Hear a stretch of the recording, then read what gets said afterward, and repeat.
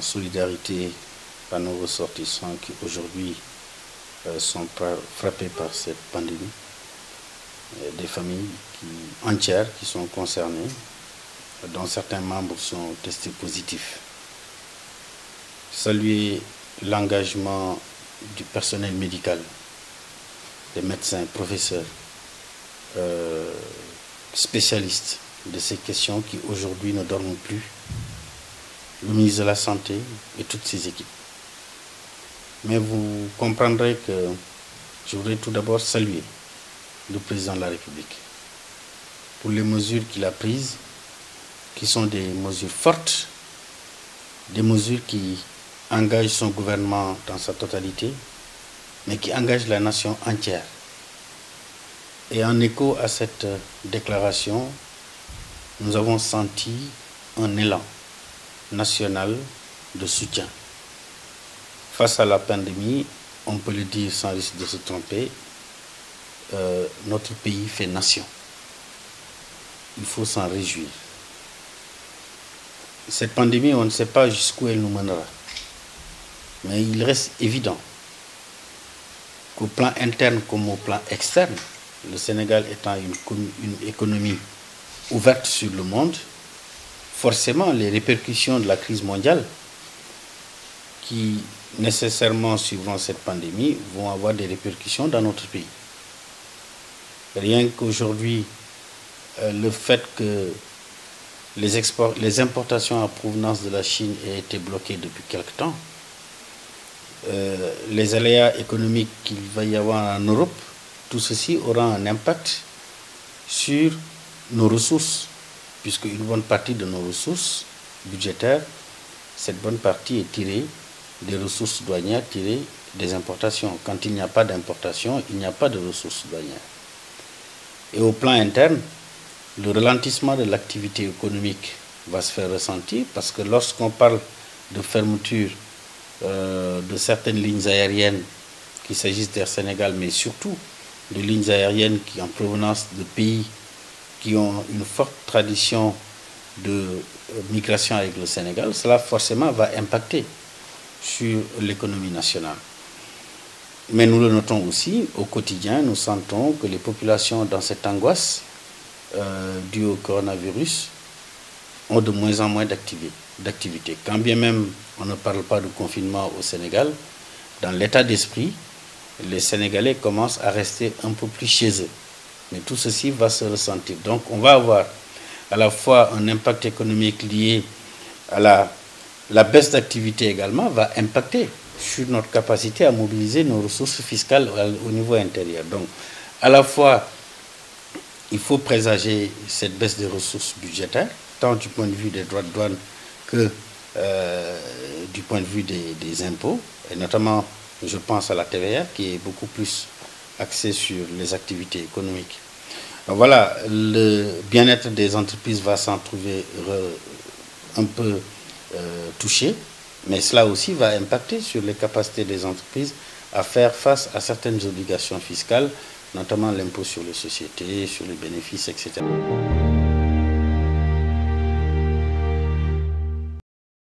Oui, forcément qu'on ira certainement vers cette, euh, on ira certainement vers cette, vers ce recadrage budgétaire, mais pour l'instant, du point de vue de la prise en charge de la, de la maladie, des, mesures euh, édictées par M. le Président de la République, qui a donné des instructions très fortes et très fermes quant à la mobilisation de toutes les ressources budgétaires nécessaires pour accompagner le ministère de la Santé et ses équipes sur le terrain, euh, nous avons là l'opportunité d'avoir un un pouvoir de régulation qui est encore conféré au ministre des Finances, quand bien même nous sommes dans l'ère des budgets programmes. Le ministère des Finances conservant ce pouvoir de régulation, ce qui lui permet tout de suite, d'abord, un, euh, sur la réserve de gestion, puisque tout le budget n'est pas réparti, il y a un pourcentage, fut minime soit-il, euh, qui est encore conservé comme réserve de gestion pour faire face tout de suite à ce type d'aléas.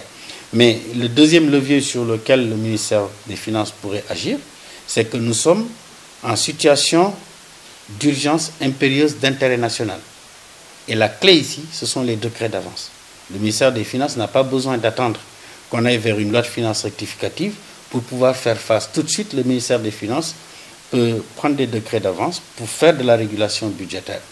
Ça, c'est levier. Mais forcément, si on euh, doit prendre en compte euh, l'impact budgétaire sur les recettes, euh, le recadrage budgétaire, forcément, avant, d'ici quelques mois, on pourrait aller effectivement vers une loi de finances rectificative. Mais dans l'urgence là, la clé, ce n'est pas la loi de finances rectificative parce que son élaboration, son adoption prendra plus de temps. Or, quand il faut faire face à des mesures aussi urgentes, le gouvernement n'a pas le temps d'attendre une loi de finances rectificative. Le gouvernement va agir sur la base de leviers qui sont parfaitement euh, légaux. Euh, je parle du pouvoir de régulation, je parle du recours à des décrets d'avance pour pouvoir faire face, puisque tout le monde est d'accord que le coronavirus est une pandémie et que nous sommes là en face d'une urgence impérieuse d'intérêt national.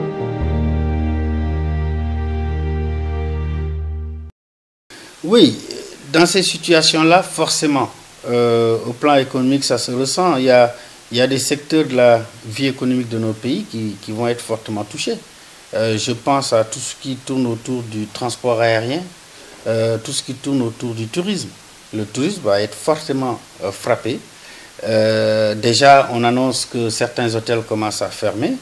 Aujourd'hui, il faut qu'on s'interroge sur le sort des travailleurs. Je, je sais qu'à l'aéroport, euh, il y a ce risque qu'une partie du personnel, euh, parce que l'aéroport travaille avec euh, des avions, lorsque les avions n'arrivent pas, forcément le personnel pourrait se retrouver en chômage technique. Mais il ne faudrait pas qu'on, que dans ces situations-là, tout de suite, qu'on agite le chômage des travailleurs. Je pense qu'il nous faut réfléchir à des modes d'accompagnement de ces structures, qu'il s'agisse de l'aéroport, qu'il s'agisse du secteur hôtelier, euh, comment l'État peut accompagner à travers le différé du paiement de certains impôts euh, pour que ces entreprises puissent encore avoir euh, un petit matelas financier pour faire face à cette période de crise. la solution radicale du licenciement du personnel ne devrait pas être, de mon point de vue, la solution à envisager. Il faudrait qu'on essaie de regarder du point de vue des charges des entreprises, sur quoi, sur quel levier l'État peut agir pour à la fois les soulager et pour permettre le maintien du personnel, puisque euh, nous sommes dans, un cas de force majeure. Il n'y a pas de faute de personnel, mais l'entreprise aussi n'a pas d'activité qui lui permet de générer des ressources. Donc, l'un dans l'autre, la réponse, elle viendra forcément de, l'État, qui devra maintenant réfléchir à une stratégie. Et généralement, dans des situations comme ça, le levier fiscal nous paraît être un différé de charges sur le paiement des charges me paraît être une des solutions euh, qui pourrait être envisagée. Il y aura un impact économique, ça, ça c'est sûr. Hein. Euh, maintenant, euh, je pense que les gens peuvent sortir faire des courses, faire leurs achats. Nous ne sommes pas en situation de confinement, mais ce qu'il faut simplement, c'est que même quand les marchés ouvrent, ben, il faudrait que les marchés ouvrent et puissent fermer à certaines heures.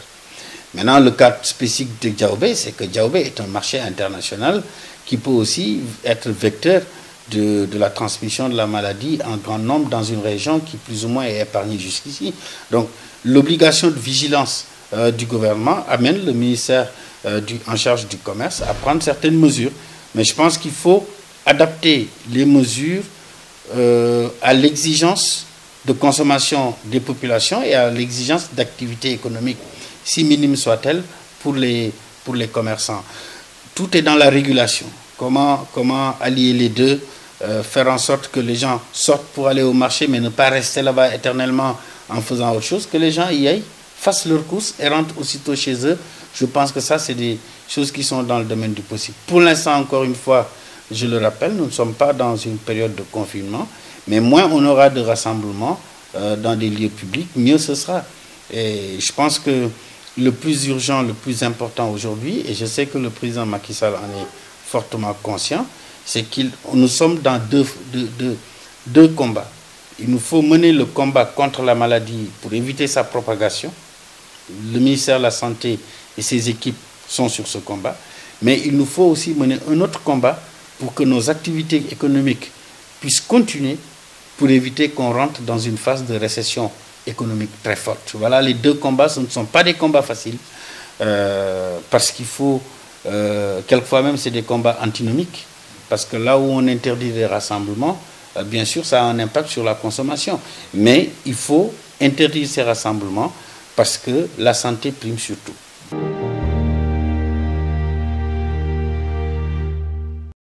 Pas soulager l'économie, euh, mais cela va contribuer à cet effort.